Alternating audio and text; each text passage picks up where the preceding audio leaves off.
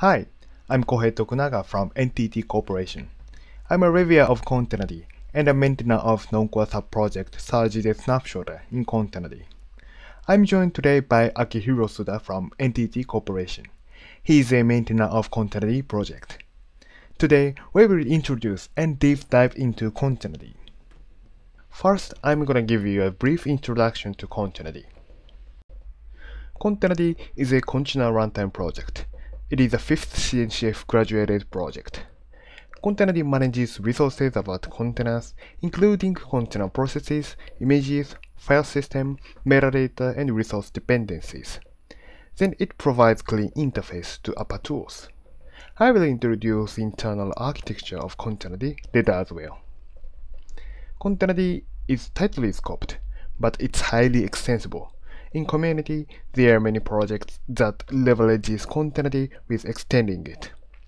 Extensibility is also one of the major topics in this session. I will introduce some examples about how to extend Containerd. Containerd is now widely used by container-based tools in community, including Kubernetes and Docker. Let's now focus on the adoption status in community from the next slide. Containerd is widely used in community, including Docker's use of Containerd.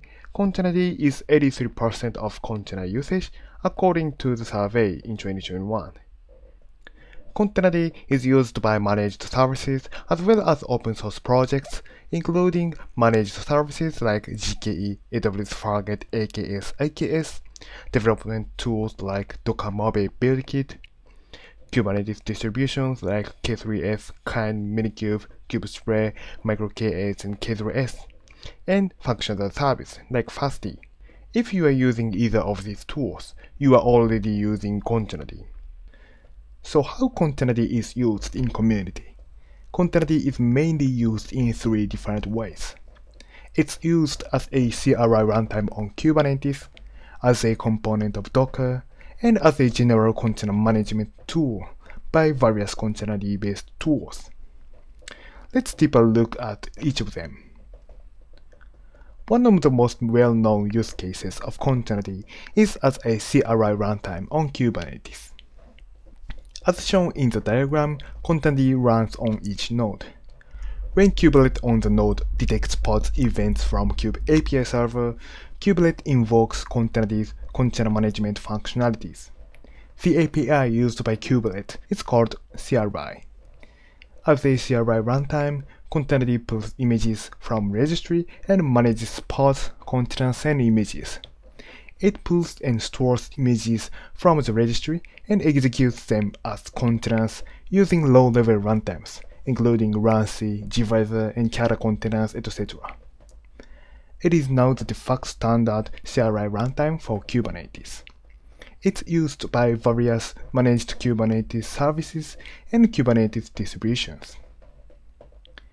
Containerd has been used as a component of Docker.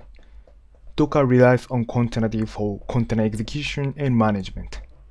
Images pulled and managed by Docker are executed by Containerd as containers. Different from Kubernetes, the API used by Docker to invoke Containerd's functionalities is called Containerd API. So Containerd has two types of APIs, CRI and Containerd API. Then Containerd manages containers using low-level runtimes. Containerd is also used as general container management tool. Several applications are developed based on Containerd. They include BuildKit, faasd, nerdctl, and Porch Container. Containerd API is commonly used by these tools. Containerd provides Go client library and utilities for Containerd-based container management. Applications can use them for integrating to Containerd. Containerd can also be extended using plugins without recompilation as discussed later. As shown in the previous slides, Containerd manages images, containers, and pods. So how is it done? Let's take a look at Containerd's internal components. Containerd has client-server architecture. It provides APIs and container management functionalities to the client. Containerd project provides Go client library for easily integrate to Containerd. Client calls server via Containerd API through Unix socket. In addition to Containerd API, Containerd also provides CRI for Kubernetes as well. Kubernetes calls Containerd's functionality via CRI. Containerd supports various low-level runtimes, including runC, gvisor, and Kata containers.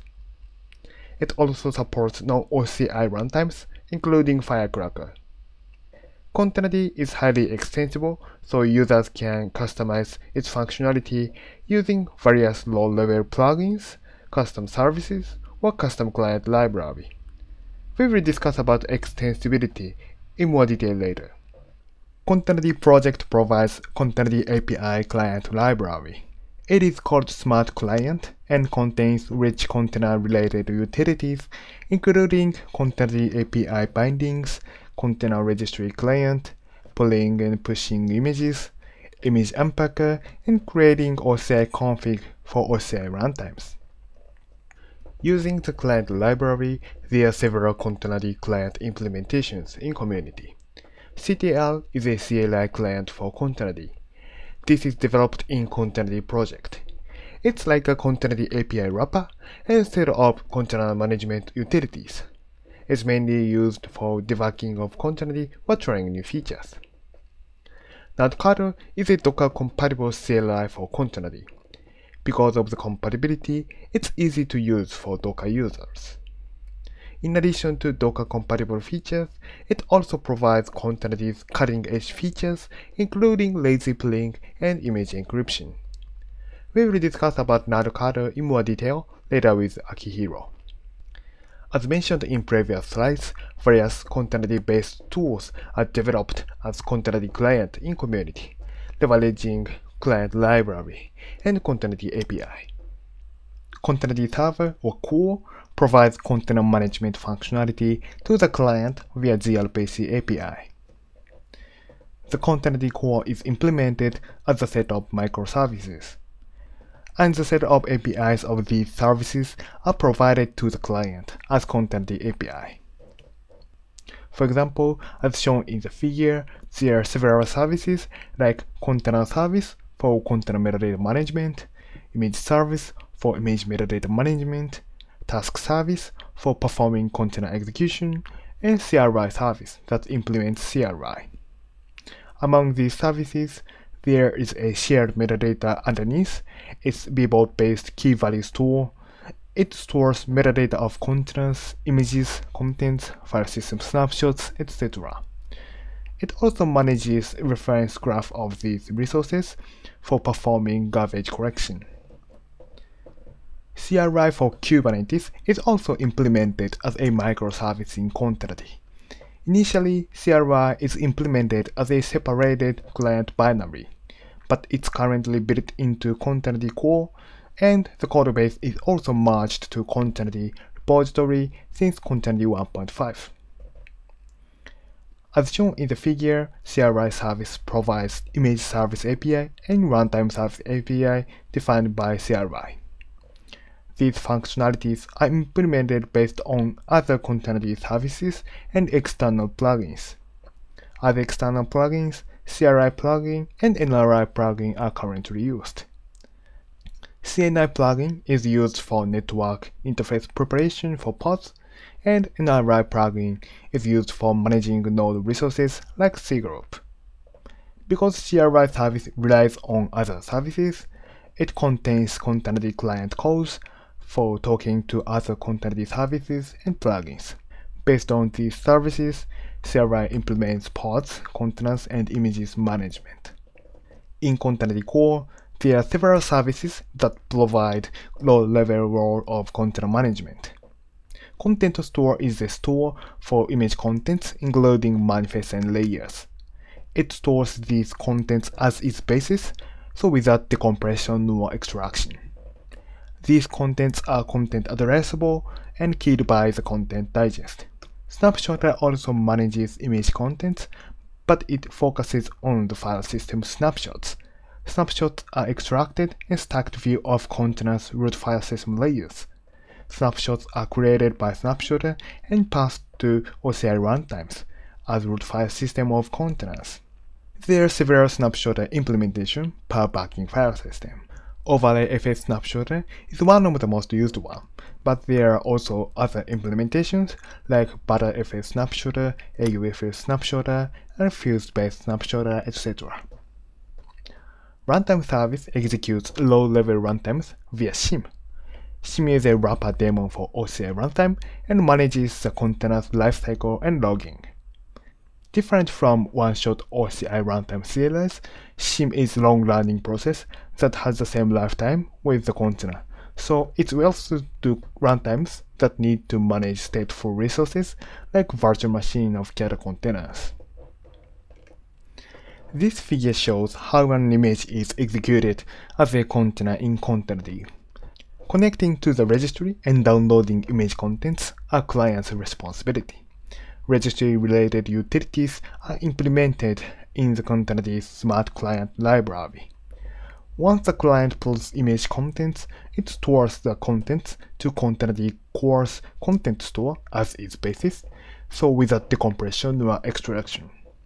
Image layer contents stored in the content store are decompressed and extracted by this service, and the stacked root file system view is managed by Snapshotter client library provides unpacker utility for this process.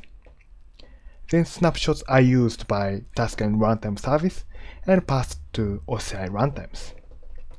And they are used as continuous root file system. Task service can be used via Containerd API bindings by the client. As discussed in previous slides, Containerd is highly extensible. Let's look at how it's done and some examples of extension for leveraging Containerd. You can extend Containerd by plugging external binaries into Containerd without recompilation. Go plugins can also be used. There are two types of external binary plugins. One is a plugin talks to Containerd via Unix socket. Proxy Snapshotter and Proxy Content Store are this type of plugins. Another is a plugin as an executable binary. Stream Processor and Shim are this type of plugins. Containerd API is also extensible by implementing your own custom service. For example, Firecracker Containerd adds new APIs called Control API by their own control service. From next slides, let me introduce some examples to extend Containerd using these plugins. Using plugins, you can enable lazy pulling on Containerd. Remote Snapshotter plugin is the plugin enables this feature. Remote Snapshotter allows Containerd to perform lazy pulling of images from arbitrary remote store.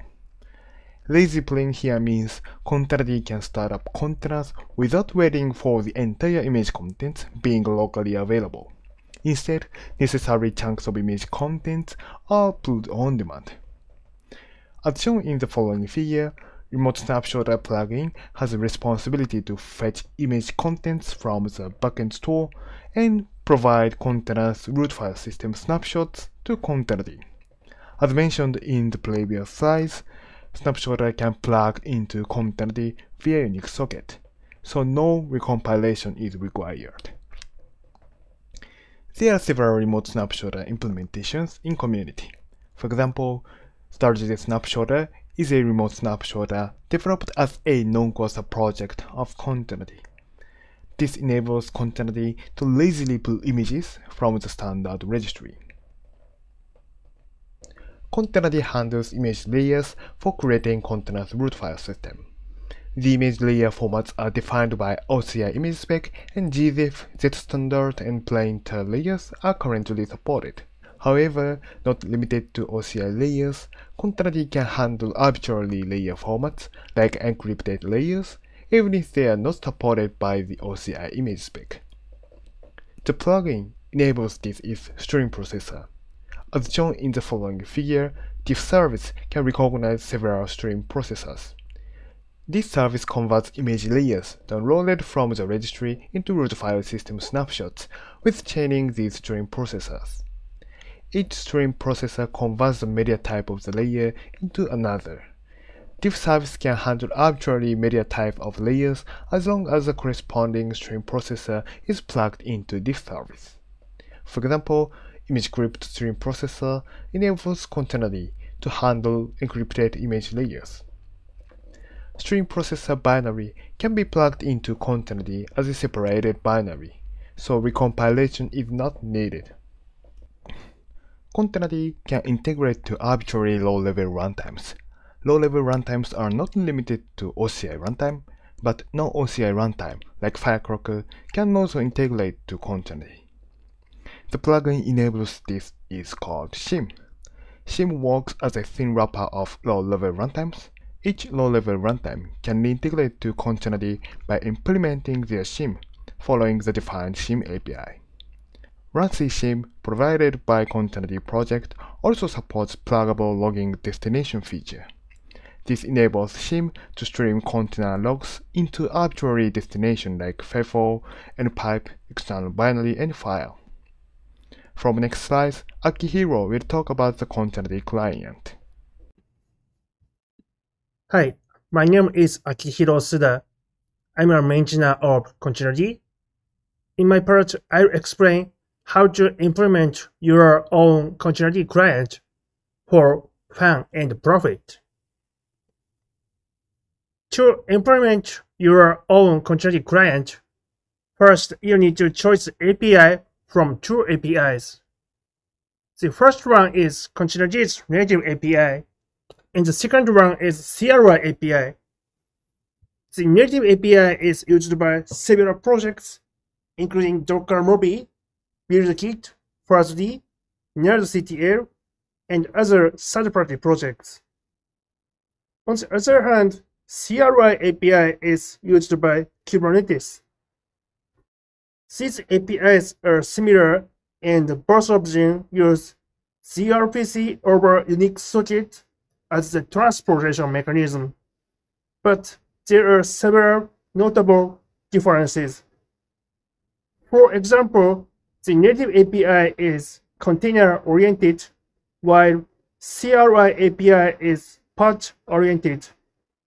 So the native API does not have first-class support for pod objects. And the native API has several complexities compared to CRI API. But the selling point of the native API is that it has more flexibility and features such as pushing images to registries. So so it's hard to tell which one is better. But I suggest using the native API of Containerd because you probably want to be able to use all the features of Containerd.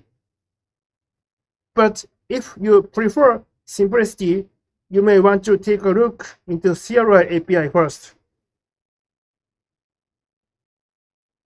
To use these APIs, in theory, you can use any programming language. However, in practice, you have to use Go language for the Containerd native API. Because the native API model depends on the smart client, smart client library that is implemented in Go language, especially for pulling images from registry. So currently, it's really hard to use other languages such as Rust or Python to implement your own client. We welcome contribution for supporting more languages. The next topic is an example of Containerd client. You can find example at https con slash slash containerd.io slash docs slash getting started. In this example, you first create a client object using containerd.new with the demonstrated at slash run slash containerd slash containerd.sock. And then you create a CTX object that is associated with a containerd namespace string. And then you pull the Redis image from Docker Hub using client.pull. Then you will create container named Redis server with several options. Container D dot with image, container D dot with new snapshot, and container D dot with new spec. And we have more with with with options, such as OCI dot with process args for specifying the command line command line strings to be executed in the container, and OCI with mounts for mounting data volumes, and OCI with memory limit for limiting memory resources, and seccomp dot with profile for specifying a seccomp profile. At this point, your container is almost functional, but in addition to the client, you will have to implement OCI hooks and, and also Logger binary in most cases. An OCI hook is a custom command that is called on the host on creation and deletion of the container. An OCI hook is typically used for setting up and tearing down CNI uh, bridge networks and port map configurations. Using OCI hooks is optional, but necessary if you want your containers to be restarted automatically on host reboot. This is complex, so I will show the code on the screen, but you can find an example code in the nerdctl repo. And if you want to see the logs of the container or transfer the logs to FluentD or something else, you also have to specify a logger binary. The nerdctl repo has an example code for storing logs as JSON files. And actually, nerdctl is almost full implementation of Docker except Swarm stuff. It was spun out from the code of CTR, but it has more practical features compared to CTR, such as automatic restarting of containers and port forwarding, routing, and rootless mode. And it also supports lazy pulling using Stargz snapshotter and also decryption of OCI crypt images. We carefully designed the source code of nerdctl to be readable to beginners. So you may copy the source code of nerdctl as a starter pack to create your own client application. The last, the last topic is the updates in Container D 1.5 and future plan.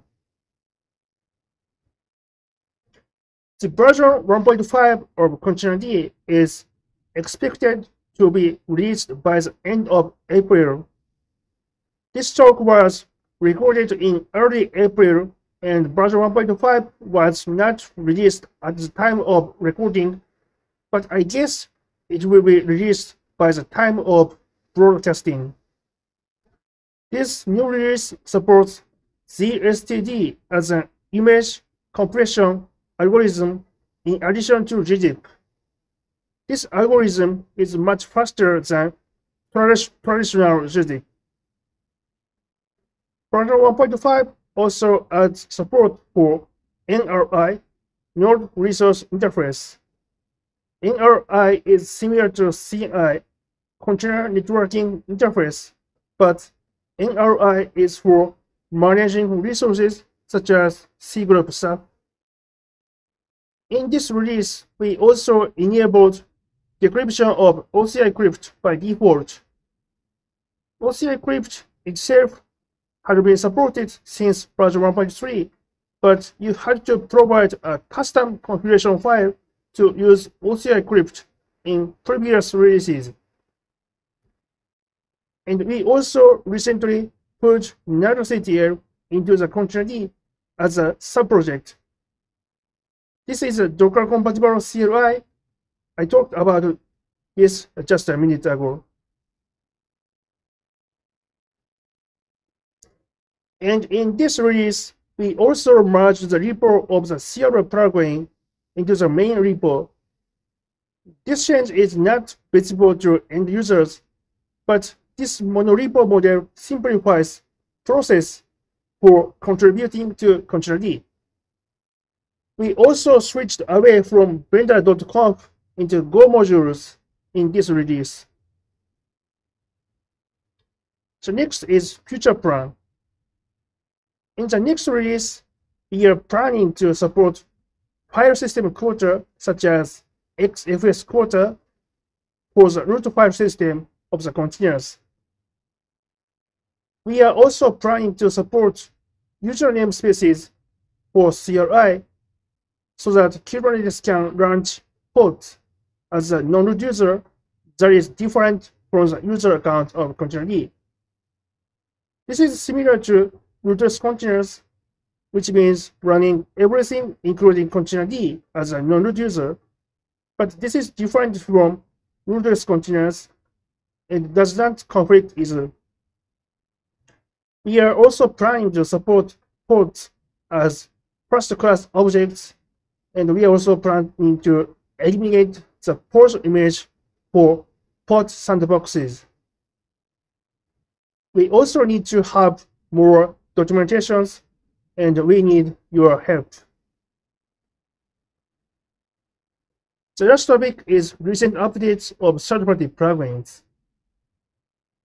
Last year, Dragonfly released Nydus snapshotter plugin for containerd. Nydus snapshotter is similar to Stargz snapshotter and enables lazy print as well as the interpretation of the images, but Nydus uses a file format that is incompatible with OCI tables. And Alibaba recently released the Overlay BD snapshot plugin. BD means block devices. Overlay BD is similar to Overlay FS, but uses Isokachi block devices. We also have several new runtime plugins. RunU by Tazaki Hajime-san is a runtime for running Linux containers on macOS using LKL Linux kernel library. RunJ by Samuel Karp is a runtime for running FreeBSD jails as OCI containers. Let me recap this session. Containerd is the default standard runtime for Kubernetes, but not only for Kubernetes. It's used by Docker Moby, BuildKit, faasd, and several other projects. Containerd is designed to be extensible with plugins. We have many plugins such as runtime plugins, snapshot plugins, stream, pro stream processor plugins, and loading plugins. And recently, we added a new subproject called nerdctl. This is like Docker but with full features of containerd. This is also like CTL but with full user experience of Docker. That's all. Thanks.